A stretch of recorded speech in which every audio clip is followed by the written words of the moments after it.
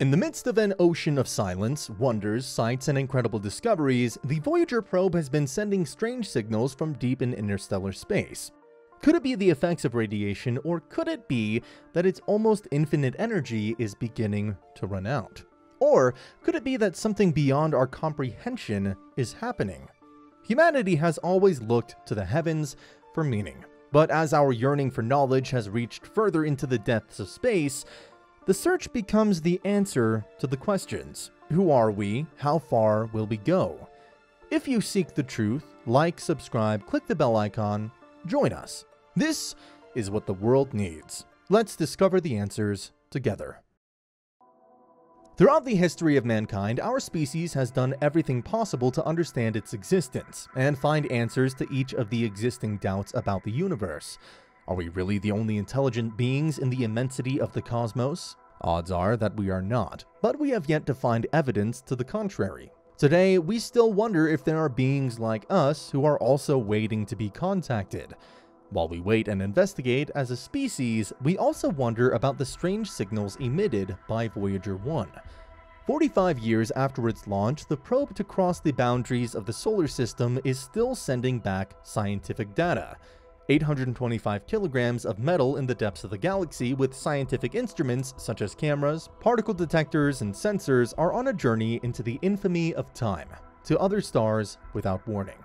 These traces of humanity hope to bear witness to the existence of extraterrestrial life, which from a beautiful blue dot become very small in the deep space between the stars.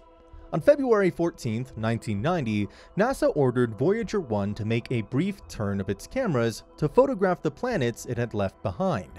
Of the 60 images from this unique event, one of the images beamed back by Voyager was the Earth at 64 billion kilometers, 42 times the distance between the Earth and the Sun.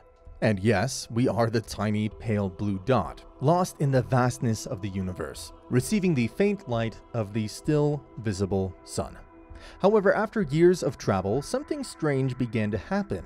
The furthest object in the universe created by mankind was beginning to emit strange and inexplicable signals. This time, scientists and researchers confronted the strange measurements with a series obtained between October and November 2012, in which they detected a decrease in the concentration of particles. And you're probably wondering, is that all there is to it? Well, no, it's just the beginning.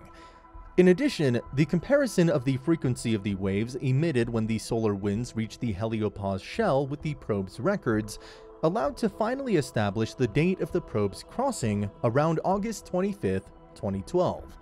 Yes, in a nutshell, one of the greatest events of mankind had occurred the Voyager 1 probe had already reached interstellar space. Despite new evidence, scientists have not yet been able to explain a phenomenon that continues to sow doubts among the most skeptical.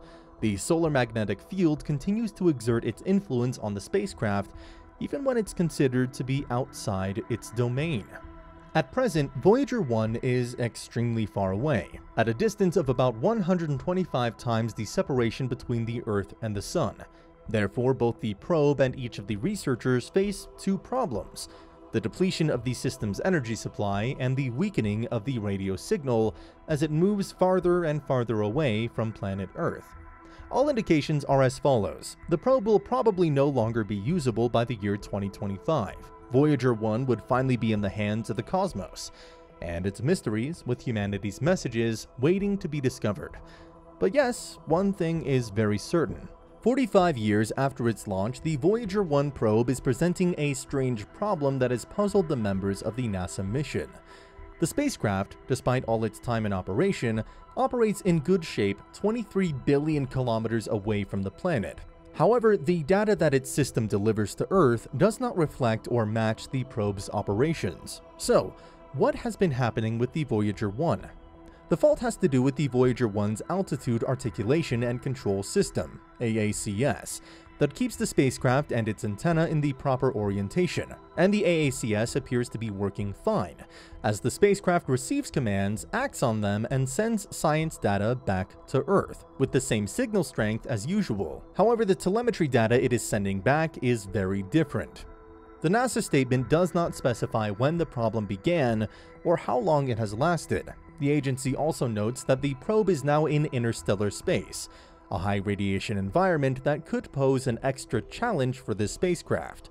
In addition, the problem has not triggered any fault protection system that could put Voyager in safe mode, and the signal has not weakened, suggesting that the antenna is still in its normal position, pointing toward Earth. However, the situation will continue to be monitored, as it is possible that another system could produce invalid data. It takes approximately two days for a message from Earth to reach Voyager, and subsequently get a response from the spacecraft. Despite the mysteries, there is still something very important to take into account. The spacecraft is 45 years old, much older than the initial mission planners predicted.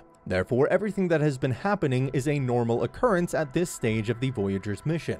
There is a chance that NASA will not find the source of the problem and instead will have to make software changes or use one of the spacecraft's backup systems, something that was done earlier in 2017 when Voyager had to switch up its primary thrusters to secondary thrusters due to signs of degradation. Therefore, if the Voyager probe were in trouble right now, we would probably be seeing signs of degradation in the spacecraft signal.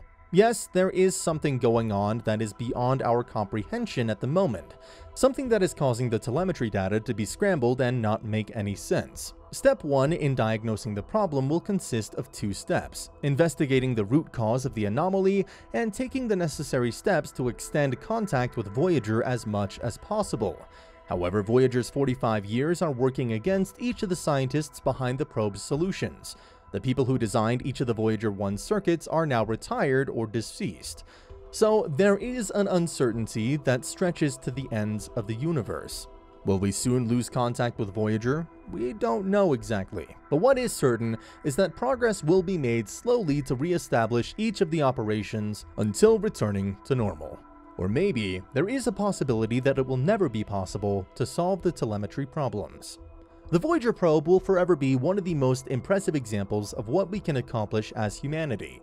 This spacecraft reminds us every day that we have come to discover and live each of the mysteries of the cosmos. Yes, at the end of the day, we are nothing more than lucky stardust that has arrived at the right place and the right time on a planet with the perfect conditions to harbor life. Beings that have had the opportunity to go further than we could have ever imagined. Who would have thought? Today, we may be one of the few existing species that are aware of the universe and its existence. If you're looking for the truth, like, subscribe, click on the bell icon, join us. This is what the world needs. See you next time.